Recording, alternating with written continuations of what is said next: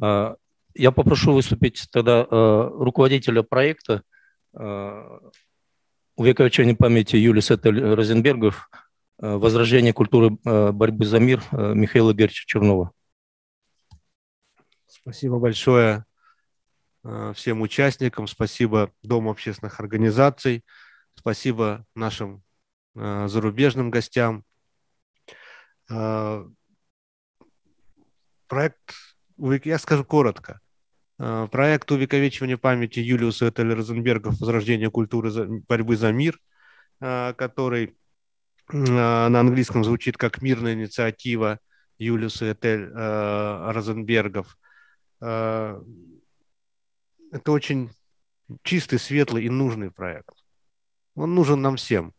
Как сказал Дмитрий Геннадьевич, э, надо опираться на людей и надо опираться на тех, кто способен в своих странах либо остановить, либо притормозить то безумие, которое сейчас начинается и которое разворачивается во всем мире. И я очень надеюсь, что это будет.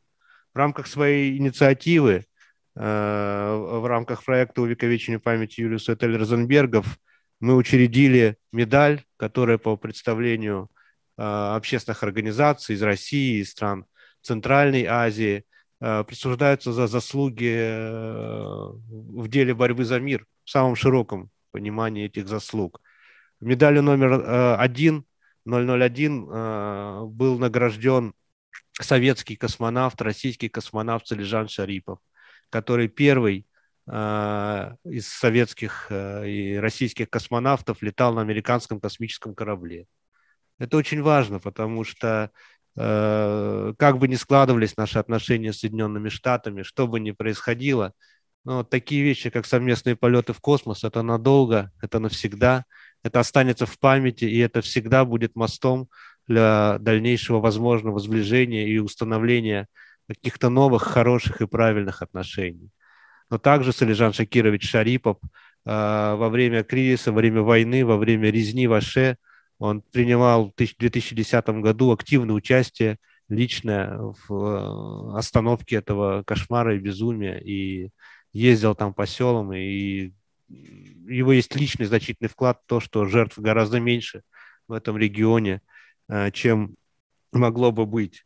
Э, медалью номер два награжден Николай Андреевич Махутов, который сейчас, я так понимаю, присутствует уже в онлайне, либо будет присутствовать на нашем мероприятии и выступит. Виднейший советский и российский ученый, который внес огромный вклад в безопасность. Причем безопасность шаг в самую широкую. Здравствуйте.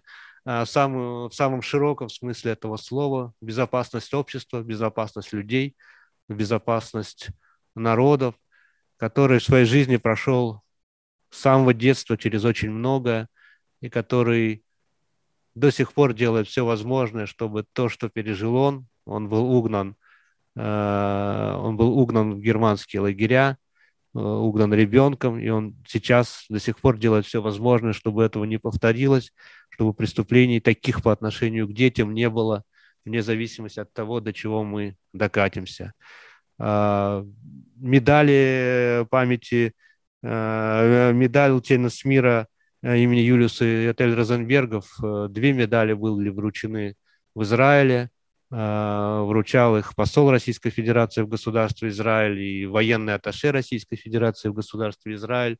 Вручал ветеранам, людям, которые внесли Э, и вклад и в победу, и в увековечивание памяти в этой победе во Второй мировой войне, Великой Отечественной войне, чтобы этого никогда не повторилось. Э, медаль, э, медалью за номер, номером 5 награжден Сайфулло Садулоевич Сафаров, который внес огромный вклад в прекращение гражданской войны в Таджикистане в начале-середине 90-х годов и благодаря которому там, в общем-то, установился мир.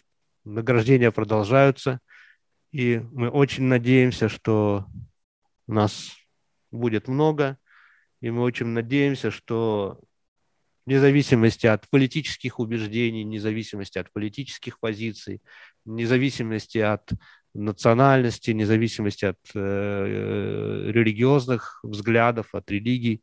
Мы сделаем все возможное, чтобы человек, чтобы личность, чтобы люди всегда оставались на первом месте. А люди хотят мира, люди хотят жить, люди хотят растить детей.